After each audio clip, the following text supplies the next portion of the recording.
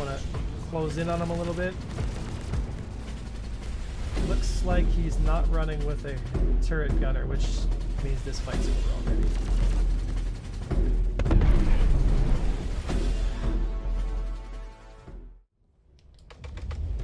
Watch out for the missiles there. So here we got ourselves engaging an anvil arrow. And again, right, like I was talking about, we want to manage our distance when it comes to when we're in a larger vessel engaging a smaller vessel. It all comes down to distance control. So I'm going to try and actually juke this missile without actually having to flare it off. Yeah, there it goes. Not wasting any flares. So another one, so we're just going to J-hook that around a little bit. Another one down. Keep our speed up here. We dropped another one. Constellation firing missiles, I guess. I'm in a Banu Defender. So I'm not sure where that arrow went. That's interesting. Does the colony want to battle? It seems like we've got Constellation and a Vanguard. Let's see if the Vanguard... Oh, there's the arrow. Here we go. So we want to pre-turn our nose onto them. Use our bottom thrusters to pull around.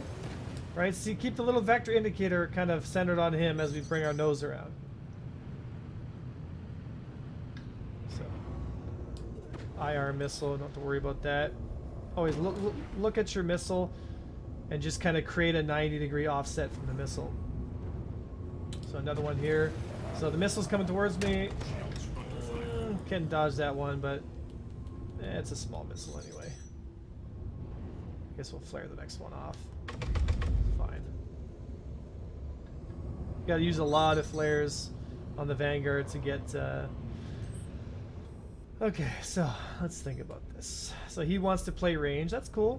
We can play range. Thing is, I can pre-turn on him, get my speed up, and get the slot. And there's one pass.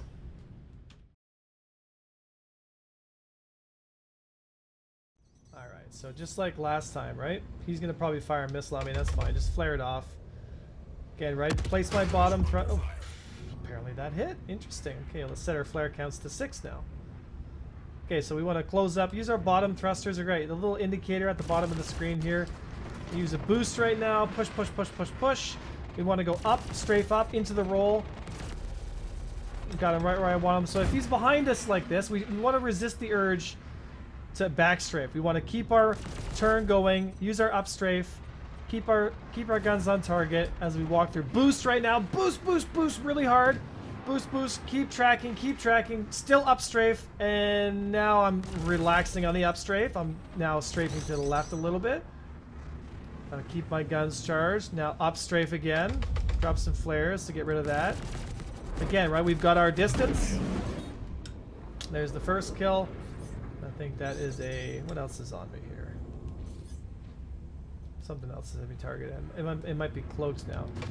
So we got another missile on me. So who is it? So far it's just the C2 Herc. Oh, there it is. So Origin 325A. Okay, so drop a couple more flares here. Stay in a defensive pattern, wait for him to come by. We can look at right there, we got the visual trail so we can see where he is. We don't need to worry about targeting him. Now he's in range. Uh, he's pretty much out of missiles now. We want to look. There he is. Pick up visual again. Think target him. Use our bottom thrusters, right? Rotate in. Here we go. Nice and close. Stay on target. Rotate our bottom thrusters around the edge of his curve. Stay on target as best you can. There's the splash. Alright, so let's talk momentum canceling. So I wanted you to watch both of those fights and kind of digest the information as you saw it. And hopefully these pictures will better illustrate what was actually happening.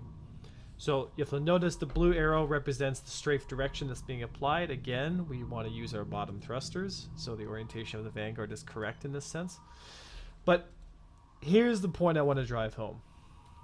That arrow is pushing hard to get position on my on my vanguard.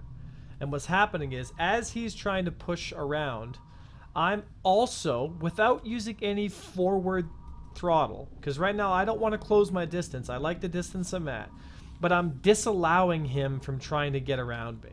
And by doing that, I'm stopping his ability to win the raid fight because I'm canceling his momentum direction with my own momentum direction. This allows us to basically fight on an even plane, and it allows a ship with a poor turn rate to still maintain guns on target because relative to him, we're basically standing still because I've canceled all his momentum with my own. So it's as if we're nose to nose and neither of us are moving, which means it's very easy for me to maintain gun target time. Now, if the worst should happen and the enemy does close the distance against you, don't panic. Don't start slamming your reverse strafe because you might have built up so much tremendous amounts of speed, it's going to take you quite a long time to get yourself in a position to fight again.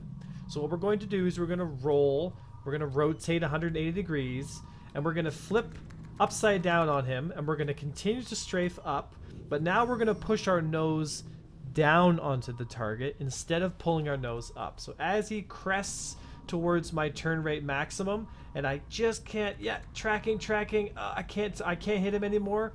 We're gonna flip upside down 180 degrees relative to his direction, and we're now gonna start pitching our nose down, and we're gonna flip the the turn fight upside down on him.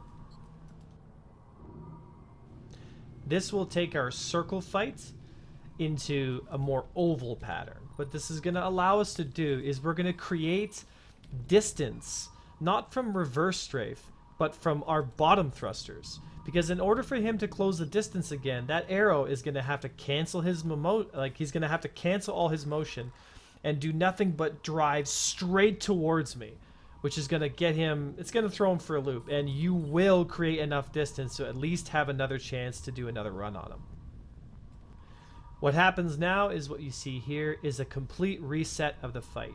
We're back to the ranges that we wanted. We're, we're back to canceling our motion against him, and we're back into doing gun runs. In a heavy fighter, you're going to win that trade every single time. You have so many more hit points, and you have so much more gunpowder than the light fighters.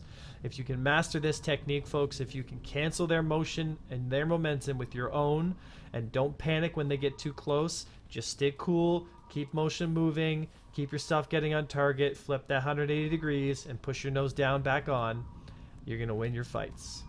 Managing small targets is a big skill when it comes to using the big ships. It's what I see a lot of times in the persistent universe is large pilot players simply don't know how to manage their ships, and when you have a small ship get too close to you, things get bad.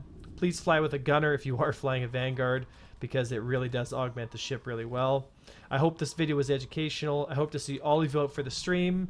I was Avenger One. Please like, share, and subscribe if you feel like this content is worth watching and sharing to other people. And I'll see you next time.